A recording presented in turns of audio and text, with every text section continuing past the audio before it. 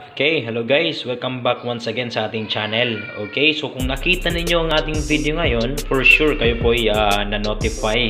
Aha. Siyempre, kasi thank you very much sa inyo, mga loyal subscribers. Another video na naman guys. Ito ngayon ipapakita ko sa inyo, itong nabili ko na ano, POE splitter. Ayan. Kasi ang bala ko guys, gagawa ko ng DIY or do it yourself na nap box.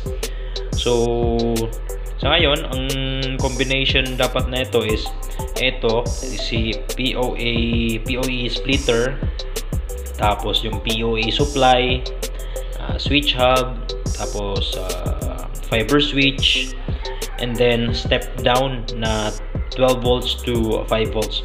But then wala pa yung ibang parts ko. I-review ko muna to, itong kung ano yung andito ngayon. Tapos abangan nyo next video natin pag nakumpleto na ipapakita ko sa inyo kung paano ito gagawin. So, umpisahan natin dito sa PoE splitter. Ayan. So, ang ratings nito guys sa input side na DC is 48 volts to 57 volts. Ayan. So, pwede siyang kasahan o pwede siyang inputan ng PoE injector na kumakain siya ng 48 to 57 volts. So, napakaganda.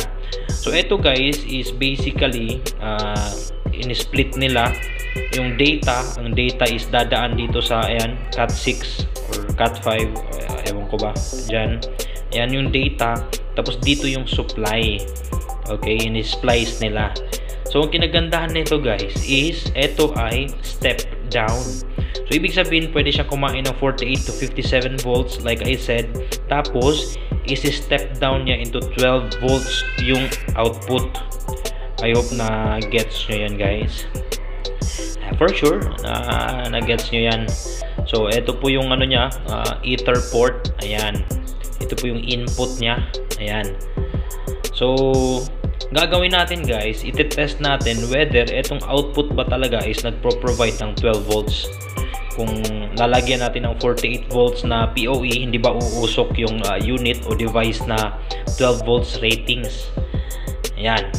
So, sa test natin ngayon, i ang kailangan natin, eh, syempre is a PoE injector o adapter.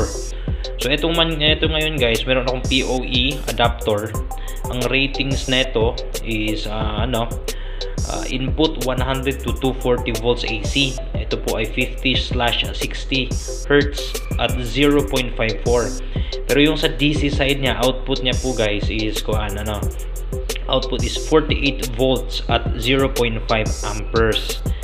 Ayan o oh, nakikita nyo ba yan guys? Ayan nakikita na. Ayan 48 volts. So gagawin natin ipa-power up natin to tapos lalagyan nating cat 6 o cat 5 cable dito sa PoE side. Ayan o, oh, may label guys o, oh, PoE. Ayan. Ito na side PoE yan. So lalagyan natin yung kable dito, tapos yung another end dito. Tapos test natin to sa 12 volts units. Ayan. So abangan nyo, like I said guys, abangan nyo yung ano natin, yung DIY natin. Uh, inaantay ko na lang yung delivery ng ating mga other compartments. Tapos ipapakita ko sa inyo yung step by step na paglinya uh, ng mga items natin. Tapos ito guys, ito si uh, splitter, POE splitter is uh, nabibili po natin ito sa Shopee. Ayan, kahit di ko na ilalagay yung link guys matanda na kayo. Alam niyo na kung paano mag-search. Nyo lang, kiin nyo lang POE splitter, lalabas at lalabas to. Ayan. So, POE splitter. Tapos, eto naman is uh, POE AC adapter. Ayan, AC-DC adapter. So, search nyo lang din to, POE injector. Tapos, check nyo yung ratings na 48 volts. Ito po yung nakikita din sa Shopee. Ayan. Ito yung gagamitin natin na switch hub. Oh, ayan. Ang um, ito po ay gigabit na TP-Link. Ayan oh. Okay, TP-Link. Tapos gigabit. So ang power uh, ratings po nito, ito po ay 5 volts output. So kailangan po nito ng ayan oh, 5 volts para ma-power up yung device. Okay. So, eto, mangyayari dyan guys, itong kable na ito, itong wire na ito, puputulin ko siya. Hindi ko siya papadaan sa 220. Puputulin ko to, tapos idadaan natin sa step down. Okay, so at least may hints na kayo kung ano yung gagawin natin in the next video. So, balik tayo guys dito. Test natin to ngayon ng ating uh, POE splitter. So, eto na. Cut 6. Hanapin natin yung POE side plug na lang natin para at least may magso-support ayan plug natin. Na ilaw na di guys oh. so POE side is dito na side. Ayan kasa natin. Tapos ayan ang dulo feed natin dito. Ayan. Ayan guys oh nailaw guys oh. Nailaw na guys Ayan. Ibig sabihin na power up na natin to. So, confirm guys ha, confirm na kinain niya yung 48 volts. Hindi siya umusok, hindi siya nasira. Kinaya niya ang supply. So, good indication, good sign na talagang ito yung magpe-perform. Yan. So, clap muna guys, clap. so, ngayon, test natin yung output kung talagang uh, nag-12 volts. Yan. So, dito guys, meron akong tawag na ito, modem ba to? Na from PLDT. Ito yung SIM card base. Ayan. So, test natin dito sa likod kung ano yung mga specifications, ano yung requirements. Ah, dito sa lalim, oh. Ayan, ayan. Ah, tama ba to? Check natin, ha? Ayun, yun, yun. Ayan, guys.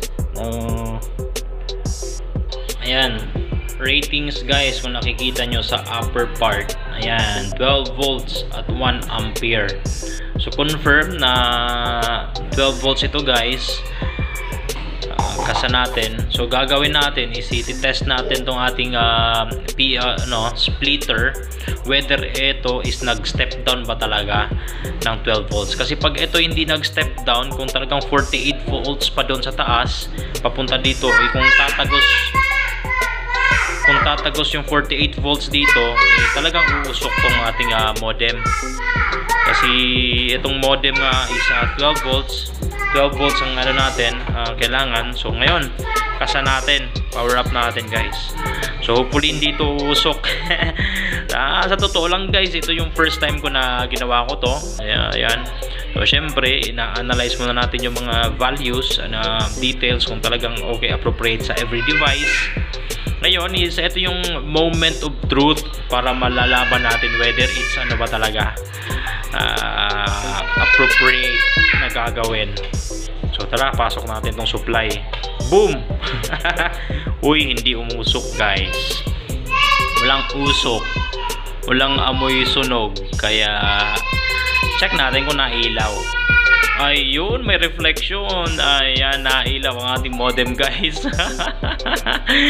so, confirm. Talagang effective yung ating ginawang kalokohan ngayon guys. Uh, step down, 48 volts, gapang sa kable.